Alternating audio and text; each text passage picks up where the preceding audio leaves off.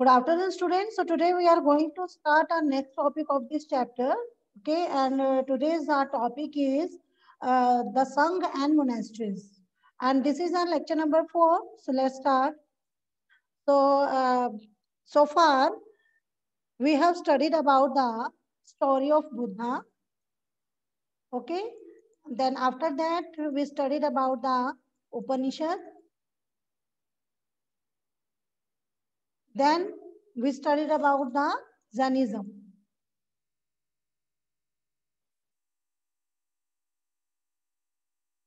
okay and today we uh, we will study about the sangh the sangh. तो संघ में वैसे हम लोगों ने जो है यहाँ हमने एक पैराग्राफ जो स्टार्टिंग का पैराग्राफ था वो हम स्टडी कर चुके थे वो यहाँ already already study this first paragraph of this topic the sangha जिसमें कि हमने आपको बताया था कि संघ जो होते हैं, वो क्या होते हैं कि जिसमें जैसे हमने पीछे पढ़ा था कि महावीरा और जो बुद्धा थे, उन दो, वो बोध ही बोध ही Mahavira and Buddha felt that only those who left their home could gain the true knowledge क्योंकि दोनों के ही सेम आइडियाज़ थे, दोनों के ही सेम टीचिंग थी कि कोई भी इंसान जो है, वो नॉलेज तब तक गेन ट्रू नॉलेज जो होती है, वो तब तक गेन नहीं कर सकता जब तक कि वो अपने घरों को छोड़ नहीं देता। तो अगर किसी को ट्रू नॉलेज गेन करनी है तो उसे अपना घर छोड़ना होगा। So they arrange for them to stay together in a sangha and association of those who left their home तो ऐसे लोगों के लिए उन्होंने जो है संघ नाम का एक क्या बनाई? एक एसोसिएशन बनाया है संघ नाम का। ठीक है? जहाँ पर जो लोग घर त्याग कर देते हैं तो उन वो लोग जो है एक साथ आकर रहते हैं। Clear so now the rules made for the Buddhist sangha were written down in a book call the Vinaya Pitaka तो बच्चे जो संघ में रहने वाले, जो मतलब कि ये जो रूल्स बुद्धिस्ट के द्वारा के लिए the rules made for the Buddhist sangha, इस बुद्धिस्ट संघ के लिए जो रूल बनाए गए थे बनाए गए थे, वो किसकी, किस बुक के अंदर आपको मिलते हैं, किस बुक के अंदर लिखे हुए हैं, उस बुक का नाम है विनय पिताका। तो विनय पिताका जो है, उस विनय आप कहें विनय पिटक जो विनय पिटक नाम की बुक है, उस बुक के अंदर जो ये बुद्धिस्ट संघ से रिलेटेड जितने भी रूल्स बनाए गए थे, वो सब विनय विनय पिटक के अंदर लिखे हुए हैं okay so from this we know that there were separate branches for men and women अभी देखिए कि यहाँ पर जो है ना जो ये रिटर्न जो भी मिला है हमें इसके अंदर पढ़ने के लिए तो यहाँ पर आपको ये समझ में आएगा कि यहाँ पर इन संघों के अंदर जो मेन और वीमेन दोनों के रहने के लिए अलग अलग तो यहाँ पर क्या की गई थी? सेपरेट यहाँ पर मैनेजमेंट किया गया था। वो सेपरेट रहते थे दोनों मैन एंड वीमेन ठीक है? सेपरेट ब्रांचेस में वो लोग रहते थे and all men could join the sangha.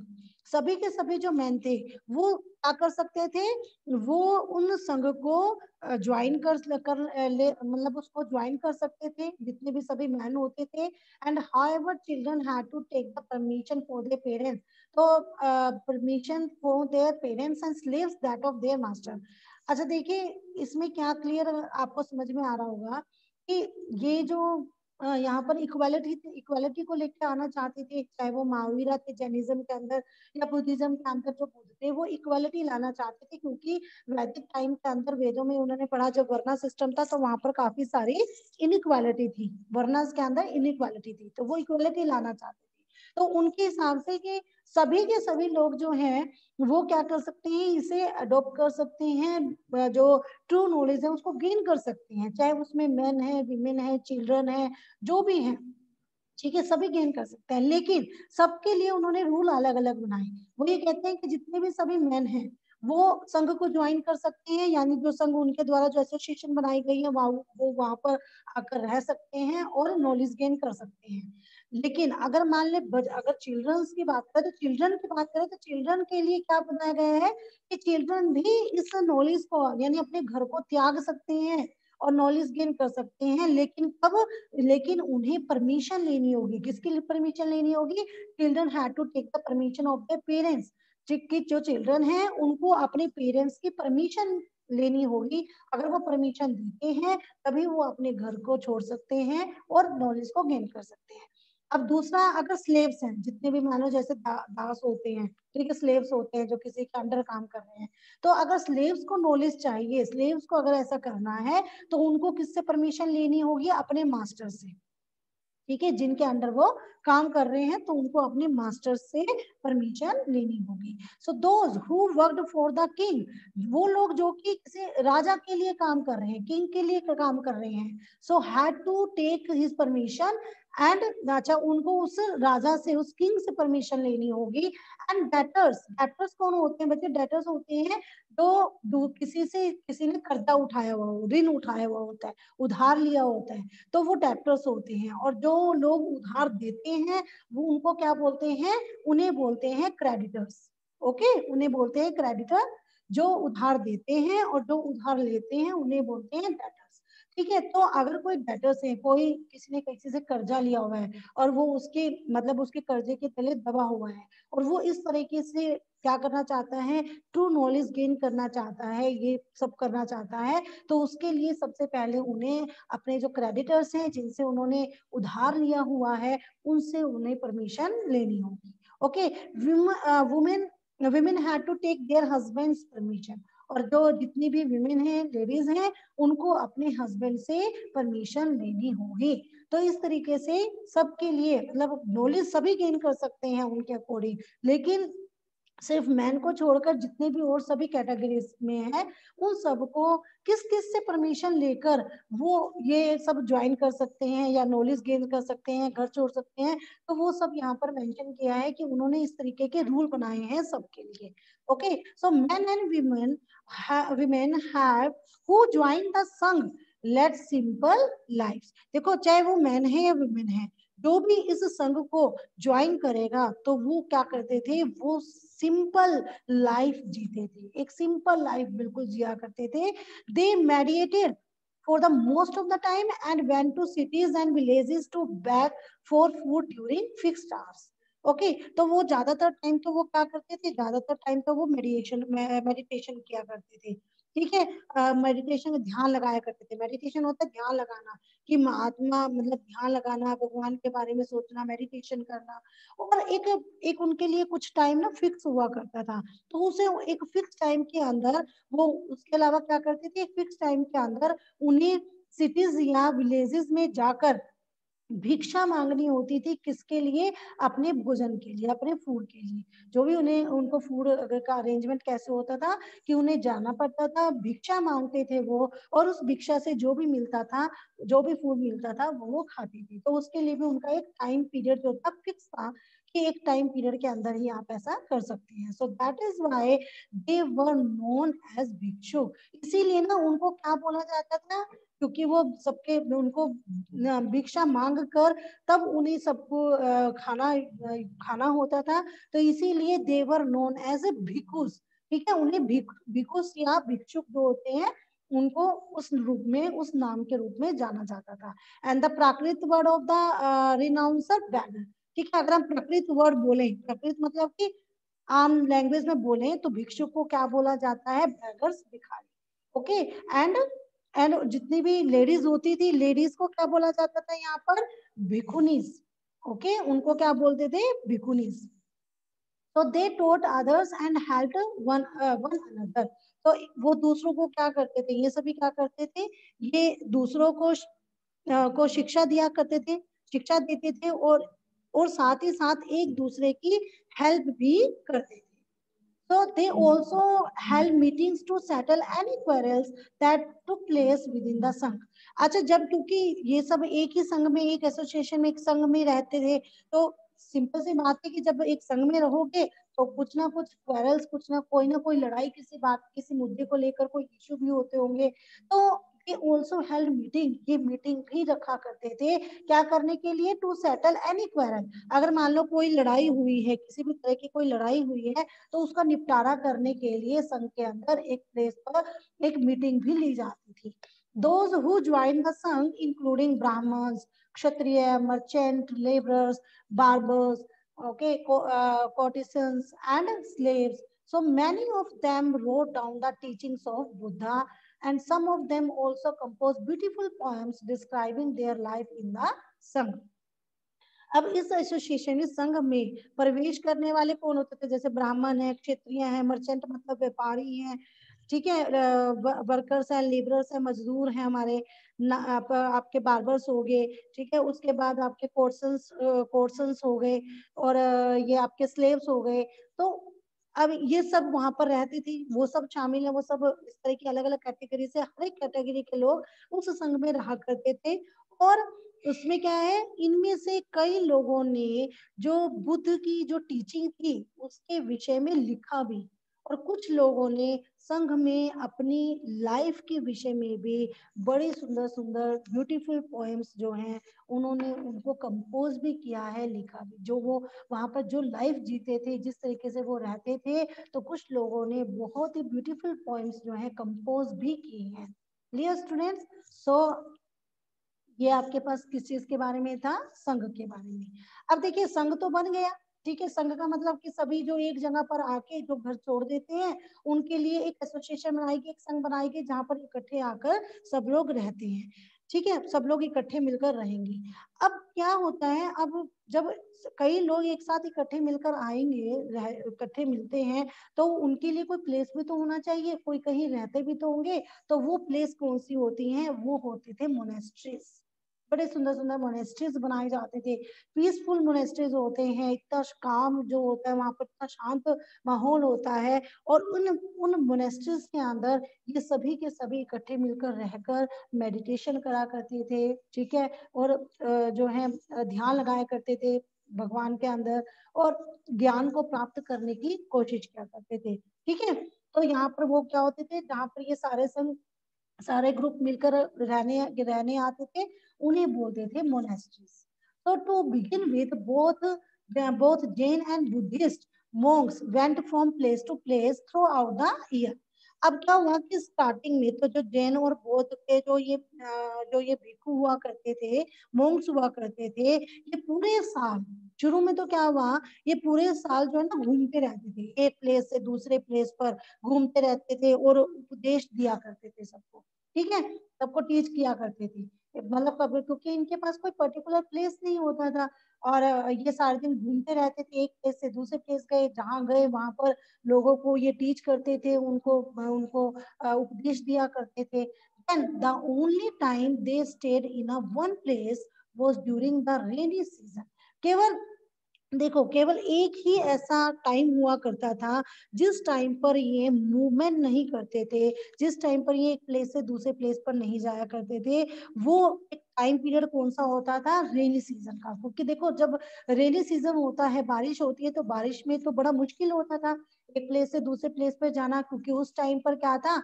उस टाइम पर आ, उस टाइम पर क्या होता था? उस टाइम पर ये रोड नहीं बनी होती थी स्टार्टिंग में तो ठीक है? और किसी तरह की कोई फैसिलिटीज़ नहीं होती थी। इतना जैसे ब्रिजेस वगैरह जैसे आजकल बने हुए हैं नदियों रिवर्स के ऊपर तो आप बड़ी आसानी से जा सकते हो। बारिश में भी आप एक जगह से दूसरी जगह प्ले कर लेते हो। ट्रांसपोर्टेशन इतनी ज़्यादा नहीं होती थी। तो उस टाइम पर प्रॉब्लम्स होती थी। तो वो वो जो रेनी सीज़न होता था ना, वो उनके लिए एक डिफ़िकल्ट टाइम होता था। तो उस टाइम पर वो एक ही प्लेस पर रुक ठहर नहीं सकते थे। मतलब वो एक ही सॉरी वो एक रेनी सीज़न के अंदर वो एक प्लेस से दूसरे प्लेस पर मूव नहीं कर पाते थे तो उस टाइम पर वो एक प्लेस पर रुकते थे।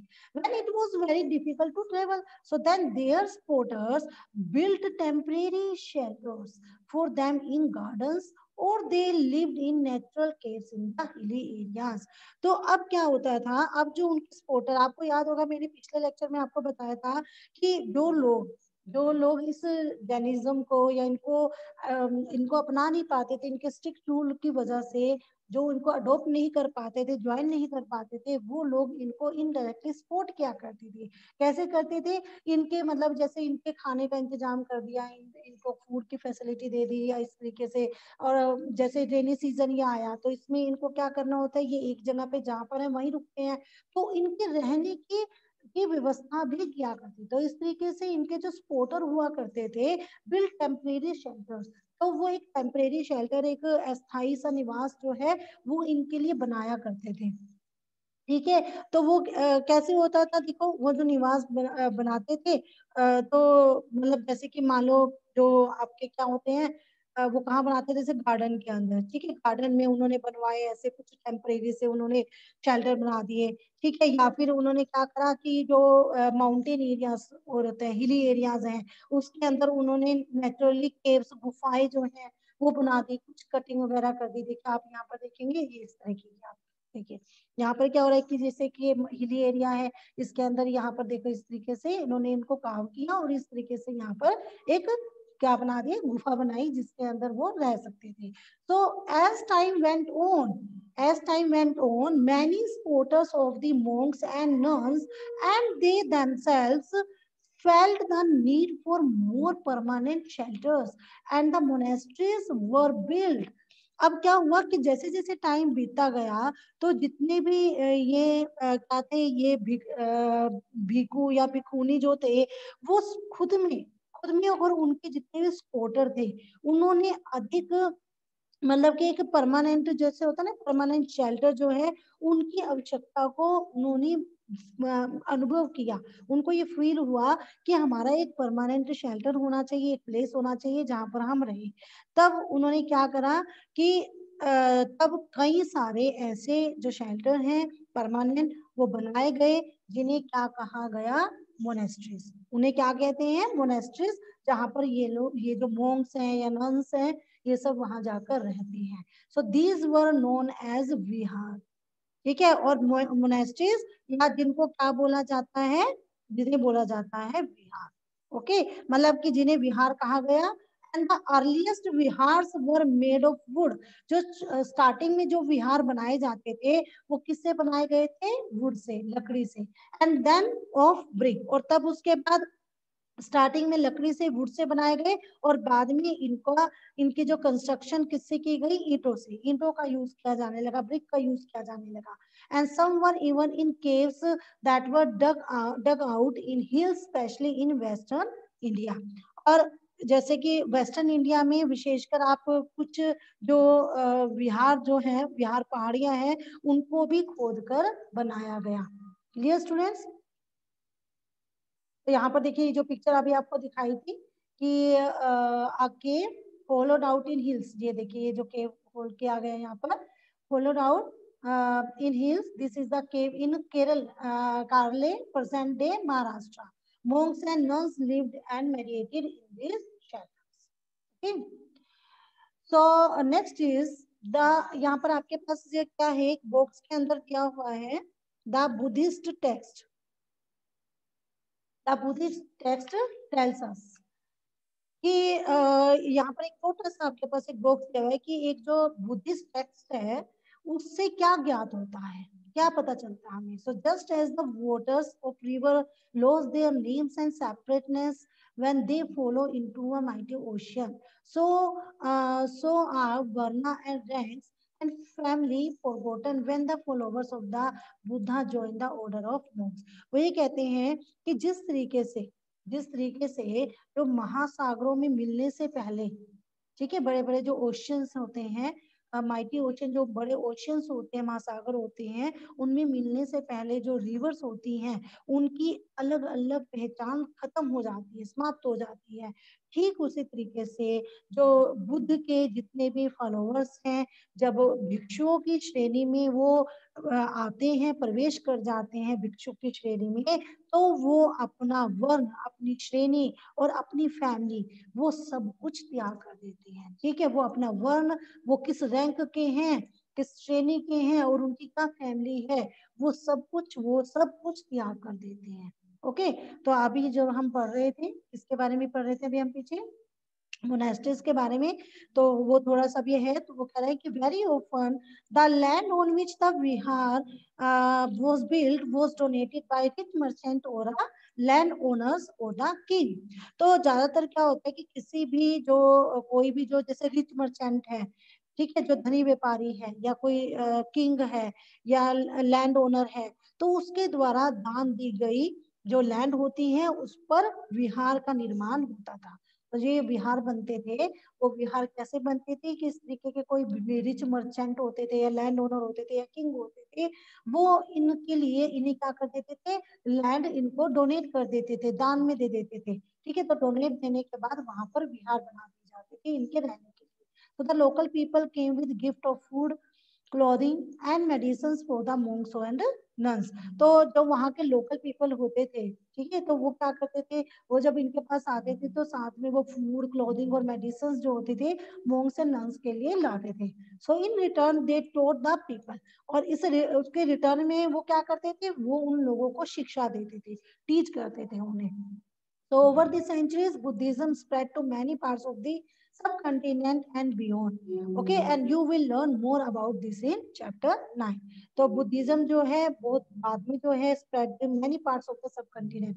हमारे जो सब कंटिनेंट जो के बहुत सारे पार्ट्स में ये बहुत तेज़ी के साथ सेंचुरी के साथ साथ जैसे जैसे सेंचुरी बीती गई बुद्धिज्म जो है वो स्प्रेड होता गया और इन सब के बारे में हम जो आगे है नाइन चैप्टर में स्टडी करेंगे ओके सो स्टूडेंट्स ये जो लास्ट आपके पास एक बॉक्स में पैराग्राफ दिया गया है द सिस्टम ऑफ़ आश्रम आश्रम द सिस्टम ऑफ़ आश्रम देखिए यहाँ पर uh, आश्रम की बात कर रहे हैं ना तो हमारे माइंड में आश्रम आज के टाइम में हम सोचे तो हमें लगता है कि आश्रम यानी कोई प्लेस जैसे आश्रम होते हैं आजकल कि कोई प्लेस है लेकिन यहाँ पर आश्रम का मतलब आप समझेंगे कि यहाँ पर क्या है? Around the time when Jainism and Buddhism were becoming popular, Brahman the system of ashram Jain और बुद्धिज्म जो है, जिस टाइम वो बड़ा ही लोकप्रिय हो रहे थे तो नियर अबाउट उसी टाइम पर जो ब्राह्मण थे, उन्होंने आश्रम सिस्टम को भी डेवलप किया। Here the word ashram doesn't mean the place where people live and meditate देखो, मैंने अभी आपको बताया ना कि आश्रम का मतलब यहाँ ये मत लेना कि ये कोई प्लेस है, जहाँ पर लोग रहते हैं या मेडिटेशन करते हैं। यहाँ पर आश्रम का मतलब ये नहीं है। It is used instead of stage of life इसका मतलब देखो, आश्रम का मतलब यहाँ पर क्या ले रहे हैं? यहाँ पर आश्रम जो मीनिंग है, आश्रम वर्ड जो है, उसका मतलब लोगों द्वारा रहने और ध्यान करने के लिए यूज़ में आने वाले जो स्थान है, उससे नहीं है, बल्कि उसमें जो उनकी स्टेजेस होती हैं, उनकी लाइफ की जो स्टेजेस हैं उन स्टेजेस से मतलब है। It is use instead for stage of life life के जो हमारी अलग अलग स्टेजेस आती है ना, उसका मतलब है। यहाँ पर फोर आश्रम वर ऑर्गेनाइज ठीक है रिकॉग्नाइज चार, देखो, चार स्टेजेस बताई गई हैं। आश्रम मतलब फोर स्टेज आश्रम जो है, वो रिकॉग्नाइज किए गए हैं। पहला है ब्रह्मचार्य। सेकंड है आपके पास गृहस्थ। थर्ड है यहाँ पर वन वन प्लस और फोर्थ इज़ संन्यास। ओके ये चार है। अब आपको शायद नाम से थोड़ा सा आपको क्लियर होगा। तो फ़र्स्ट जो नाम है ब्रह्मचार्य। ब्रह्मचार्य। ब्रह्मचार्य, देखो सबको लगता है ब्रह्मचार्य मतलब यहाँ पर ब्रह्मचार्य का मतलब ये नहीं है कि भाई आपको शादी नहीं करनी, आपको मैरिज नहीं करनी है, आपको ब्रह्मचार्य का पालन करना है। नहीं। यहाँ पर जो आपकी फ़र्स्ट स्टेज होती है वो बता रहे हैं। तो वो क्या है कि ब्राह्मण, क्षत्रिय एंड वैश्य में। Were expected to lead simple life and study the Vedas during the early years of their life brahmacharya कि जो आपके पास यहाँ पर ब्राह्मण है, ठीक है? मतलब आपके ब्राह्मण हो गए। ब्रह्मचार्य का मतलब अंदर क्या आता है? ब्राह्मण क्षत्रिय और वैश्य। से ये अपेक्षा की जाती थी कि वो इस स्टेज के दौरान वो एक सिंपल लाइफ बिताएँगे और वो वेदों का अध्ययन करेंगे। आपको, आपने कई बार देखा होगा टीवी में, जैसे आप मान लो, चलो रामायण वगैरह ही देखें आप तो आपने देखा होगा कि जब ये जो स्टेज होती है स्टार्टिंग की तो उसमें क्या करते हैं कि बच्चों को, सबको जो है, बड़ी सिंपल लाइफ बिताने के लिए उनको आश्रम भेज दिया जाता था, जहाँ पर वो गुरु के आगे सारा काम करते थे और वहीं पर अपनी एक सिंपल लाइफ जीते थे और वो जो गुरु होता था, वो उनको पढ़ाया करता था। ठीक है? उनको ज्ञान दिया करते थे। तो ये वो वाला टाइम है कि जो भी ब्राह्मण होते थे, क्षत्रिय होते थे या वैश्य होते थे, वो इस ब्रह्मचार्य स्टेज के अंदर एक सिंपल लाइफ जिएँगे सिंपल लाइफ व्यतीत करेंगे और इस लाइफ में वो के में सिंपल लाइफ करेंगे और वो वेद मतलब वेदों का, वेदों की स्टडी करेंगे। ओके तो जैसे आपका आपका ये वाला टाइम चल रहा है पढ़ने का टाइम ठीक है? जो आप इस टाइम पर आप स्टडी कर रहे हो ना अभी तो आपको बहुत सारी फैसिलिटीज़ प्रोवाइड है। हर एक तरह की फैसिलिटीज़ आपको प्रोवाइड है, लेकिन उस टाइम पर ऐसी फैसिलिटीज़ नहीं होती थी जो जितने भी बड़े बड़े घरों से से जितने भी बच्चे होते थे, उन सबको घर त्याग करके आश्रम में जाना पड़ता था। वहाँ एक सिंपल लाइफ जीनी पड़ती थी। अपने गुरुओं का वो सारा काम करना होता था, आश्रम का भी सारा काम करना होता था, और फिर वो वेदों को पढ़ा भी करते थे। उनके गुरु उन्हें टीच करते थे। तो ये ब्रह्मचार्य की स्टेज थी okay then then they had to marry and live as householder उसके बाद क्या करना, जब उन्होंने वेदों की स्टडी कर ली तो अब सेकंड स्टेज आई, जिसके अंदर उनको क्या करनी पड़ेगी? मैरिज करनी पड़ती थी and live as householder और उनको एक हाउस होल्डर की तरह, यानी एक गृहस्थ जीवन जो है, वो उन्हें बिताना है। सेकेंड आश्रम की अवस्था हो गई। And then they had to live in the forest जब उन्होंने अपना गृहस्थ आश्रम जो है वो बिता लिया, उसके बाद उनको क्या करना पड़ेगा? They had to they had to live in the forest उनको जंगलों में जाकर रहना होगा। एंड मेडिटेट और उनको मेडिटेशन करनी होगी। जिनको क्या बोलते हैं? वन प्रस्थ क्योंकि उनको जंगलों में जाना है तो वन प्रस्थ की स्टेज हो गई। ओके देन उसके बाद fourth is finally they had to give up everything उसके बाद उनको सारी की सारी चीज़ें अपनी त्यागनी होंगी एंड बिकम सन्यासीन। और उनको एक सन्यासिनी का, एक सन्यासी का रूप, सन्यासी का रूप धारण करना होगा। यानी जो भी कुछ है, अब उनको सब कुछ त्याग देना है और उनको सिर्फ़ सन्यास बन सन्यासी बनकर रहना है ओके तो ये फोर स्टेजेस थी आश्रम की ये सिस्टम बनाया था आश्रम का clear so the system of ashram followed man to spend some some part of their lives in meditation generally women were not allowed to study the vedas and they had to follow the ashrams chosen by their husband तो अब यहाँ पर क्या है कि जो आश्रम में यहाँ पर जो ये सिस्टम था आश्रम में, इसमें लोगों को अपनी लाइफ का कुछ हिस्सा ध्यान में लगाने पर, यानी मेडिटेशन लगाने पर उनको, उन्होंने फोर्स दिया। पर जो जो लेडीज़ होती थी, उनको वेद पढ़ने की क्योंकि परमिशन नहीं थी तो उन्हें अपने हस्बैंड द्वारा पालन किए जाने वाले आश्रम के ही अनुसरण करना होता था। ठीक है? मतलब कि वो उनके साथ साथ रहती थी, और जो जो वो आश्रम में, जो भी वो अपना जो भी वो रूल वगैरह फॉलो रूल वगैरह अपनाते थे तो उन सबको इन्हें भी फॉलो करना पड़ता था। क्लियर स्टूडेंट्स तो I think now it's clear so so now today this chapter is completed now so that's all for today have a good day